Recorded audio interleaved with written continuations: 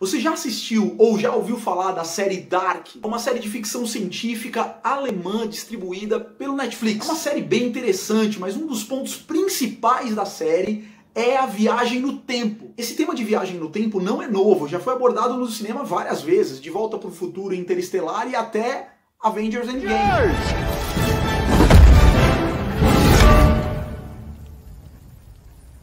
Assemble. Mas a questão é, é possível viajar no tempo? Como podemos viajar no tempo? Hum, hoje eu vou te contar. Roda a vinheta! A pergunta se viagem no tempo é possível, a resposta pela teoria da relatividade é sim. Aí você vai falar assim, puxa João, mas é claro, viagem no tempo, né? Eu tô viajando no tempo. Eram três horas, agora é quatro, agora é cinco. Não, não tô falando disso. Eu tô falando de viagem no tempo real, galera. tô falando tipo assim, de futuro. Sim, isso mesmo, pela relatividade restrita, que é o que eu quero abordar no vídeo de hoje para falar de viagem no tempo, é possível ir para o futuro. Aí a pergunta é: como? Vamos lá. A relatividade restrita foi publicada por Albert Einstein em 19 de maio de 1905. Aí você vai se perguntar, uau, como é que ele sabe essa data de cabeça? É simples, essa data até hoje é comemorada como o Dia do Físico, claro, em homenagem à publicação de Albert Einstein. Outra coisa importante é que a relatividade, ela você vai encontrar ela com duas abordagens diferentes: relatividade restrita e relatividade geral. A abordagem nossa desse vídeo é a relatividade restrita, ou seja, é estudar o movimento dos corpos na ausência de campos gravitacionais. É essa abordagem de Einstein na relatividade restrita. Primeira coisa que a gente precisa falar, a velocidade, o movimento, ele já na mecânica clássica ele é relativo. Vou dar um exemplo. Se eu estou dentro de um ônibus em movimento, olho para o passageiro da frente, o passageiro da frente está parado em relação a mim.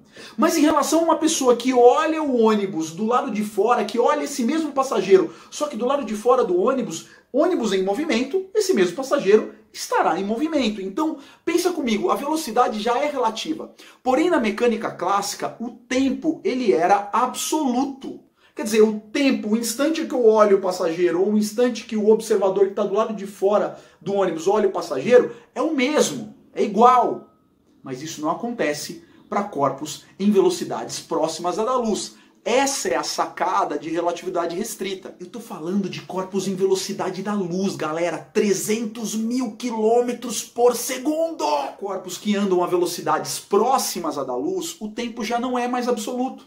O tempo se torna relativo. Em outras palavras, o tempo para quem está viajando à velocidade da luz não é o mesmo tempo para quem ficou aqui na Terra paradinho, sacou? Isso tudo parece muito louco, então eu vou tentar explicar melhor para vocês com um exemplo. Esse cara que está aqui do meu lado é o Agostinho, ele tem hoje 27 anos de idade. Eu, não sei se vocês sabiam, apesar da minha cara de adolescente, eu tenho 41 anos de idade. Agora imagine que eu saia por aí pelo espaço, viajando a uma velocidade absurda de 299.340 km por segundo. Só para você ter uma ideia do que seria essa velocidade, seria como sair de São Paulo e ir para o Rio de Janeiro 600 mil vezes em um segundo. Vamos esquecer o fato de que essa velocidade é praticamente um absurdo. Mas vamos imaginar que eu vou ficar um ano viajando a essa velocidade. Ótimo. Essa é a equação de Einstein para a dilatação temporal. Meu tempo, eu vou ficar um ano viajando a 299.340 km por segundo.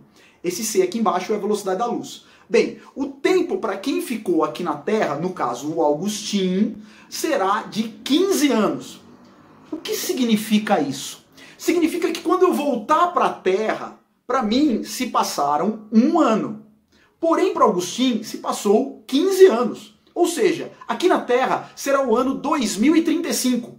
O Agostinho estará com 42 anos.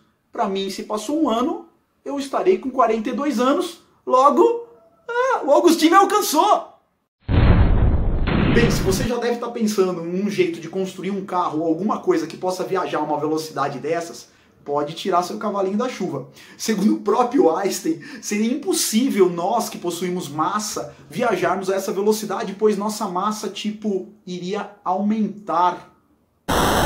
Portanto, a conclusão desse vídeo é que sim, é possível viajar no tempo. É possível, segundo a relatividade restrita, ir para o futuro. porém a gente ia ter que vencer o fato de que atingir essa velocidade seria praticamente impossível, e quando atingíssemos, nossa massa aumentaria.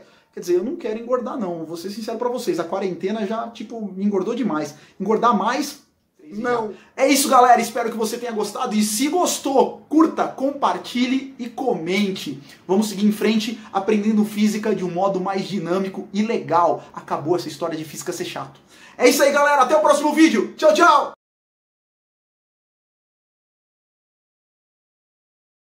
Agora você deve estar se perguntando: ótimo, o vídeo é perfeito, só que quem é o Augustin e por que usar o Augustin? Bem, o Augustin é meu amigo, eu sou amigo da família dele há mais de 15 anos, ele é engenheiro e ele foi uma das pessoas que mais me incentivou a assistir a série Dark, mais conversou comigo sobre o assunto. E a série Dark, óbvio, vocês devem ter percebido que foi a base, foi a estrutura base para eu falar de viagem no tempo. Tá aí o motivo de eu ter usado o Augustin no exemplo. Grande beijo, galera. Fiquem com Deus. Tchau, tchau.